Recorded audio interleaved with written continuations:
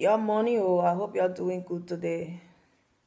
Good morning. Hope you all are having a good time and staying positive wherever you are. So, today I woke up feeling so inspired and motivated. So, I'm like, you know what? Let's do something for the day. Delicia is the name, and excuse my looks.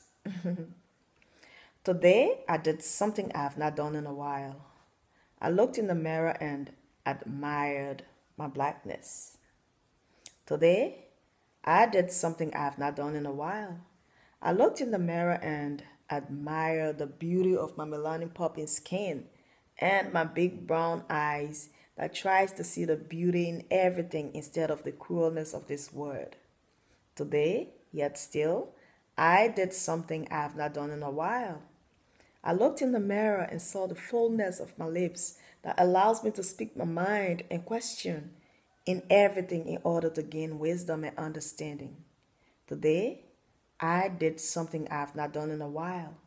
I looked in the mirror and saw the arc of my back and the stride in my walk, which helps elevate my head up high as I display my confidence. Today, I did something I have not done in a while.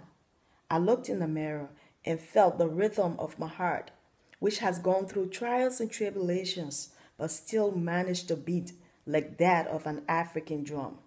Today, I did something I have not done in a while. I looked in the mirror and said, Damn, my black is beautiful. Yes, my black is beautiful. Your black is beautiful. Let no one Nobody's thought or opinion of you bring you down. You matter the most. Black, we are the kings and queens, so believe that. Look in the mirror and tell yourself, Mom Black is beautiful.